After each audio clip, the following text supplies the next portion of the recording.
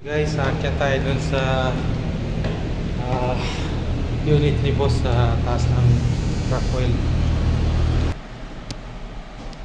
So, ayan sir.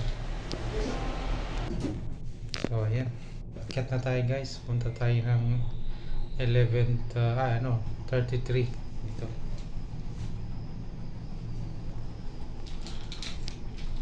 Tapos, uh, hakutin natin yung bagahe ni boss.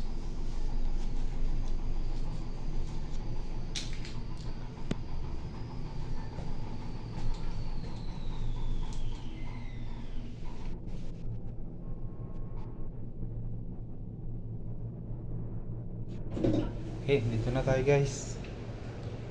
Ayan. Yun, ito yung taas ng building ni sir. Ayan. Ayan yung baba.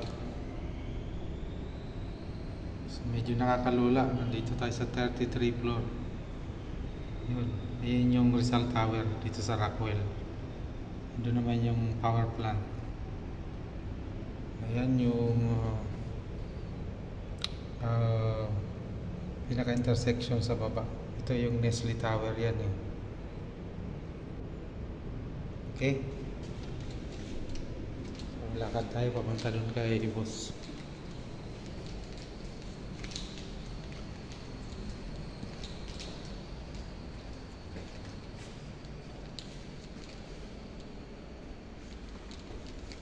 Ito, ito tayo.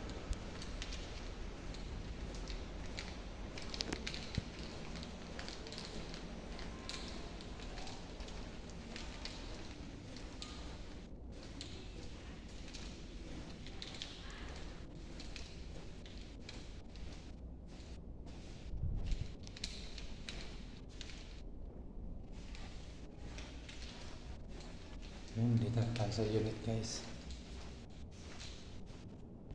Ito yung bagahe ni boss. Nalabas ko na may kukunin pa daw siya. Ang mayaman to guys, ano dito. Tahimik lang tayo. So na natin para yan yung bagahe niya.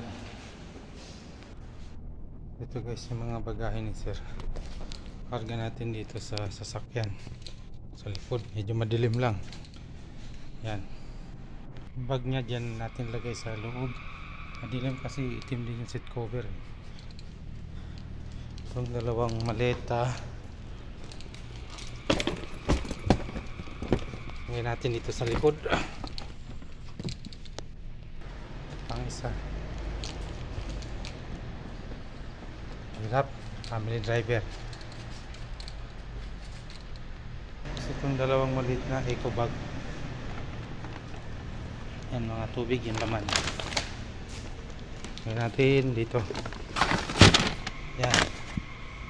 So ayan yung bagahe ni Sir. ah. Yan.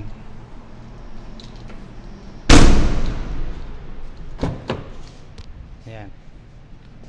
So, okay guys. Nandito na lang yung aking vlog. Ito yung ilalim ng parking ng Rockwell. Ayan. Okay, bye.